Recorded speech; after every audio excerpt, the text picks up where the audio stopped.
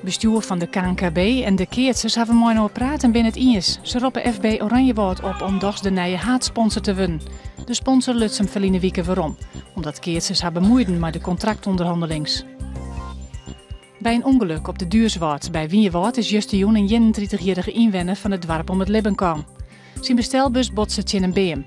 De politie doet nog onderzoek naar de correcte oorzaak. Hotel Vlierijk op Vlieloon had juist de grutte skeer op rond terug brand. De bron wacht koe de bron dreig blussen, totdat het rijten tek bot isoleren weer. Een pad van het dak is daarom iepenbrutsen. De rekken nimmer verwoenen. Hotelgasten binnen onderbrocht in een oorhotel. De ijshockeyers van de Unis Flyers hebben juist de zesde wedstrijd verlen van Den Haag met 3 Daarmee komt te staan in de hele finale op 3 3 Het gaat om de best of seven voor het kampioenschap van Nederland. Joen is de laatste wedstrijd in Den Haag. Vannacht een peergraden boven nul. Het is helder en er zit net volle wien. Morgen zinneskin waar, een zwakke noordwestenwind en het wordt 14 graden.